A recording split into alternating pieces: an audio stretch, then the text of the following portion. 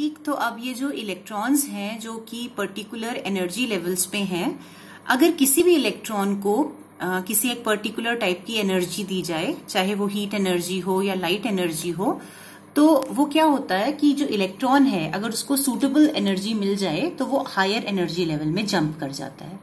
Electron ने jump करा higher energy level पे पहुँच गया।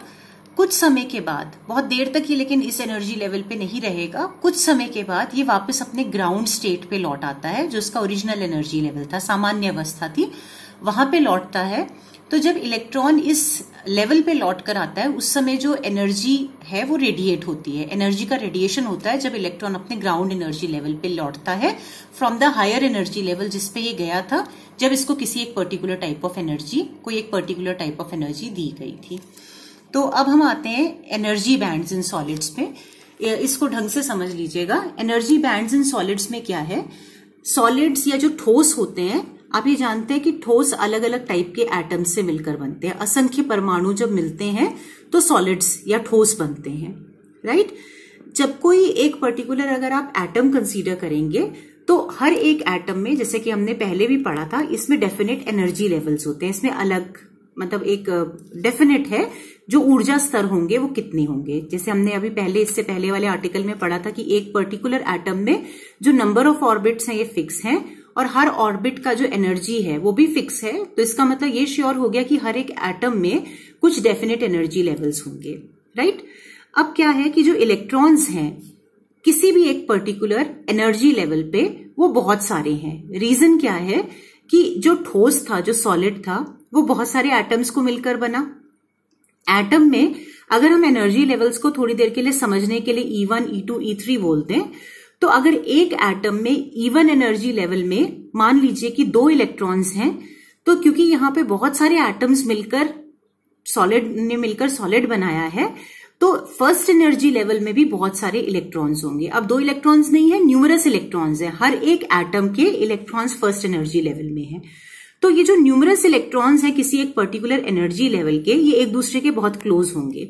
बहुत पास में होंगे क्योंकि जो सॉलिड्स हैं उसमें एटम्स क्लोजली पैक्ड हैं। इसकी वजह से एटम्स क्लोजली पैक्ड होने की वजह से जो उनके पर्टिकुलर एनर्जी लेवल्स हैं, उनमें जो इलेक्ट्रॉन्स हैं वो एक दूसरे के बहुत क्लोज होंगे। तो क्लोज होने की वजह से और बहुत कम डिफरेंस होने की वजह से एनर्जी लेवल्स में इलेक्ट्रॉन्स के ये एक साथ मिल जाते हैं और एनर्जी बैंड बना लेते हैं। तो ये जो एनर्जी बैंड है, अब किस प्रकार से इसको नेम किया जाता है? First energy band second energy band and so on इस तरीके के एनर्जी बैंड्स बन जाते हैं।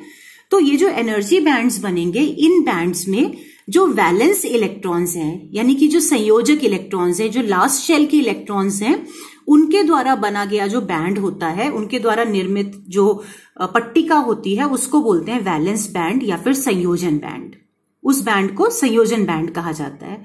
और इस संयोजन बैंड के ऊपर एक और पट्टिका होती है, एक और बैंड होता है, जिसे बोलते हैं कंडक्शन बैंड या फिर चालन, चालक बैंड ये नेक्स्ट परमिसिबल एनर्जी लेवल है। जैसे एनर्जी लेवल्स जो हैं वो एक एनर्जी लेवल होगा, उसके बाद सेकेंड एनर्जी लेवल होगा। 1.5 नहीं होगा first energy level second energy level third energy level तो वैलेंस बैंड के बाद जो नेक्स्ट एनर्जी लेवल है, वो कंडक्शन बैंड का ही होता है।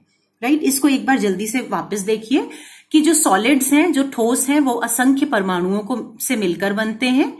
हर एक परमाणु में निश्चित ऊर्जा स्तर होते हैं।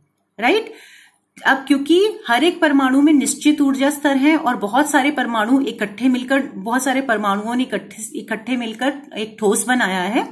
इसलिए अब जो नंबर ऑफ़ इलेक्ट्रॉन्स है, इसमें वो भी बहुत अधिक है। तो हर एक एनर्जी लेवल में न्यूमरस इलेक्ट्रॉन्स है। जैसे फ़र्स्ट एनर्जी लेवल में बहुत सारे इलेक्ट्रॉन सेकेंड एनर्जी लेवल में बहुत सारे इलेक्ट्रॉन्स एंड सो ऑन एक पर्टिकुलर एनर्जी लेवल के जो इलेक्ट्रॉन्स हैं, उनमें बहुत ही स्लाइट डिफरेंस होता है।